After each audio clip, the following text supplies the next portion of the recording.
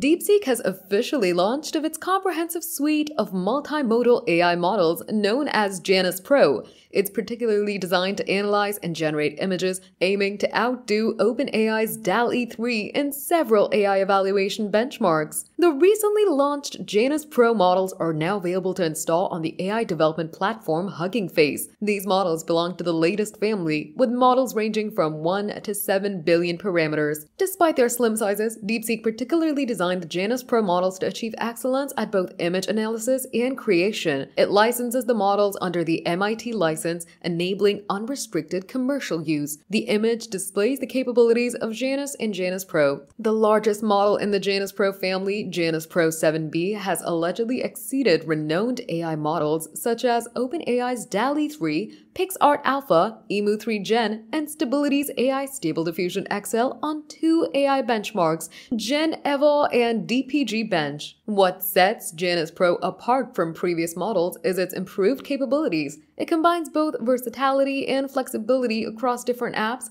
marking a groundbreaking development to reshape the AI industry. The launch of the Janus Pro models comes on the heels of the rapid rise of DeepSeek's chatbot app, which sharply rose to the top of the Apple App Store charts. Their continuous progress in both product development and market influence suggests that DeepSeek is set to revolutionize the AI industry in the coming years.